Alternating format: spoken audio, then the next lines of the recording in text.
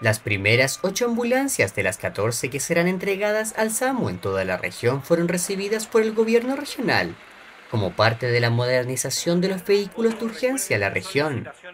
Bueno, son 14 ambulancias, todas ellas avanzadas. Eh, un proyecto que hace mucho tiempo era necesario, hace años que no se renovaba el parque vehicular del SAMU de la región. Eh, tenemos una serie de ambulancias en malas condiciones o apenas operando, así que este proyecto que hemos tenido un apoyo decidido por parte del gobierno regional es tremendamente relevante para el funcionamiento del, SAMU en la región, que como ustedes saben es la primera respuesta frente a cualquier accidente o emergencia que pueda ocurrir.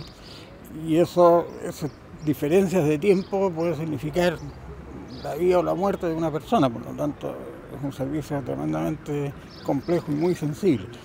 El proyecto busca entregar respuesta oportuna, segura, eficaz y de calidad a las demandas de la salud, a través de un transporte sanitario terrestre adecuado que cuente con el equipo y equipamiento óptimo al alcance de los funcionarios que se desempeñan en el SAMU.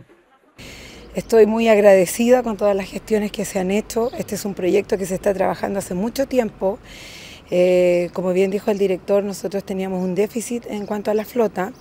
Son 14 ambulancias que vienen a renovar la flota antigua, vienen todas avanzadas, todas equipadas, el equipamiento va llegando eh, de acuerdo a los plazos y eh, lo más importante es el, el aporte que tenemos a nuestros usuarios.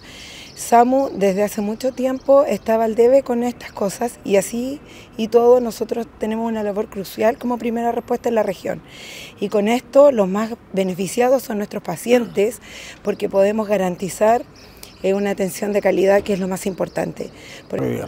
Presentamos este proyecto cuando nos dimos cuenta de la necesidad que tenía el SAMU en cuanto a vehículos y inmediatamente obtuvimos el apoyo del gobierno regional, hoy día se está materializando y en estas 14 ambulancias son todas ambulancias avanzadas, ambulancias para el SAMU, y que van a estar distribuidas en las distintas bases de toda la región. Esto no es para un comuna en particular, sino que es toda la región la que va a resultar apoyada con la, con la presencia de estas ambulancias.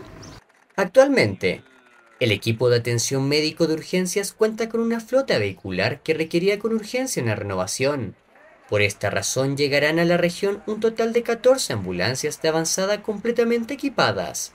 El proyecto fue presentado por el Servicio de Salud de la región de Antofagasta al gobierno regional, quienes aprobaron estos móviles que fueron financiados con recursos del Fondo Nacional de Desarrollo Regional, por más de 2.444 millones de pesos.